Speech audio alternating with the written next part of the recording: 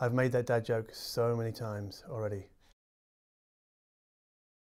So we've unboxed the Yggdrasil Analog 2 and I've now wired it into my audio system here and we've got some lights showing already. We're showing um, an input of 44.1 kilohertz, one times oversampling.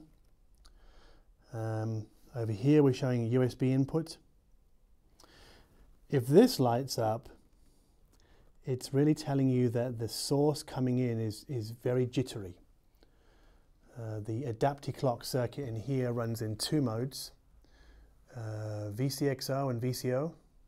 And I think if it's too jittery, if the source is too jittery, it'll only run in VCO mode. I think the guys at Schiit call that shitty source light or maybe buy a better piece of gear light. And lastly over here we have the phase switch, inverting phase, should you wish to. And this button here is for cycling through different inputs. Signal lock.